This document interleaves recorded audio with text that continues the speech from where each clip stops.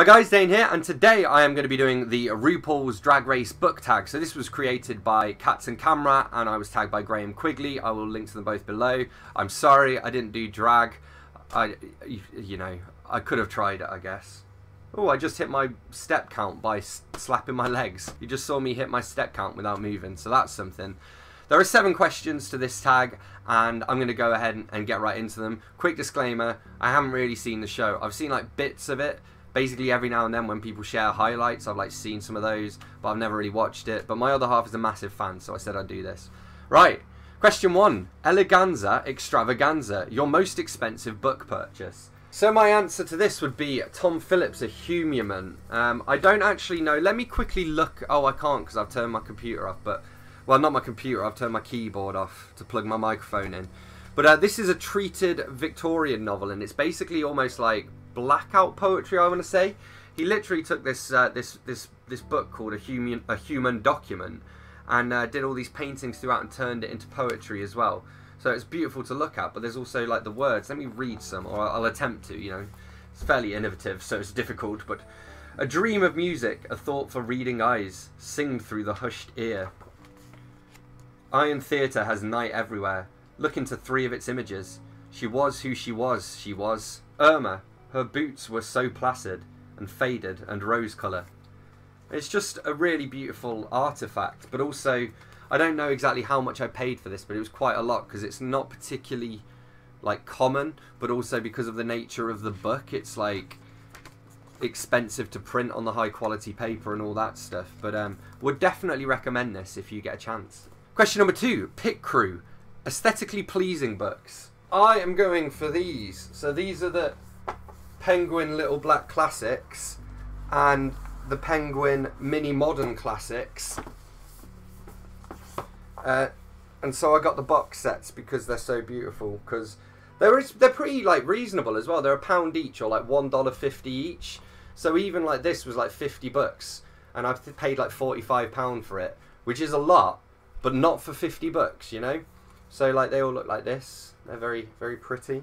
I've just taken this out and now it needs to go back in our numerical order. Here we go. Next to the Gigolo. Lovely. So yeah, and the blacks look much the same. I didn't mean that in a racist way. Question number three, Comeback Queen, an author that you either lost interest in or took ages to bring out a new book that came back with a bang.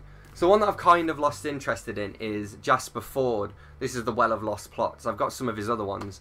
I read like the first two of these, the Thursday Next books, and then I picked up like three more of these in this series, and then like two or three of his standalone ones as well. Because um, I saw them all for a pound each in a charity shop, so I just bought them all. And now I just can't really be bothered to get back into them. But I probably will at some point. I also sat at one of his desks once at the uh, Story Museum in, in Oxford. You can sit at it, it's very cool. He completed one of these, or a few of these books there actually. Hey Biggie. Question number four, Don't Fuck It Up, a sequel you're dying to read. That This one's over here. That would be Locke and Key Volume 6, Alpha and Omega, uh, by Joe Hill and Gabriel Rodriguez. And this is the sixth and final Locke and Key uh, book in the, uh, in, the, in the series.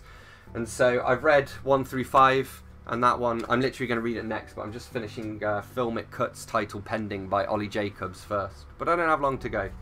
And I had to wait on these because uh, my other half read them before me, so she, she just returned it to me. Question number five Snatch Game. Who did it better? Compare two books with similar plots, tropes, or covers, and let us know who did it better. Okay, so for this we have The Stand by Stephen King and The Passage by Justin Cronin, and Stephen King did it a lot better. I think this, The Passage I gave 2 out of 5, and The Stand I gave 5 out of 5. Uh, and I will be rereading The Stand later uh, this year, November. Looking forward to it. Question number six Reading is fundamental. Read some of your favourite books. And by read, we mean throw shade for those not in the know. So, um, these aren't necessarily my favourite books, but these are some, some books by some of my favourite authors. I mean, this one is my favourite book. This is Northern Lights by Philip Pullman.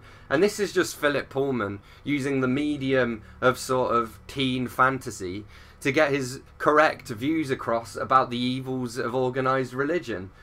Just, oh, how could you like that? How could that be your favorite book? Uh, then we've got what we've got here. We've got Nosferatu by Joe Hill. I mean, he's just trying to be his dad. Uh, here we've got here we've got his dad. We've got Misery by Stephen King, which is just another Stephen King book about him writing about an author. We get it, Stephen King. Write about what you know. You're not supposed to take it that literally. Jesus. And then we've got some Agatha Christie as well. So we've got Hercule Poirot's Christmas, which is just like a rude Belgian interposing himself on this British family as they're trying to have a nice traditional Christmas. And then we've got Miss Marple's Final Cases, which is just some old pussy sticking her nose in things where it doesn't belong. And question number seven RuPaul's best friend race. Tag some people. Okay, so as always, I'm going into my recent comments. So I am going to tag.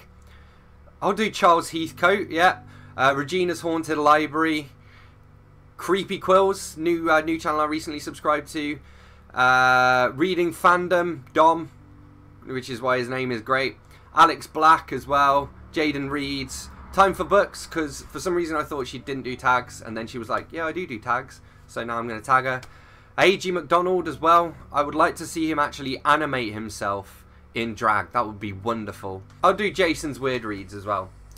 So there we have it. That's what I made of RuPaul's Drag Race book tag. Thanks as always for watching. Don't forget to let me know in the comments what you thought of this video, if you've read any of these books, etc, etc. Hit that like button if you've enjoyed it. Hit subscribe for more, and I will see you soon for another bookish video. Thanks a lot.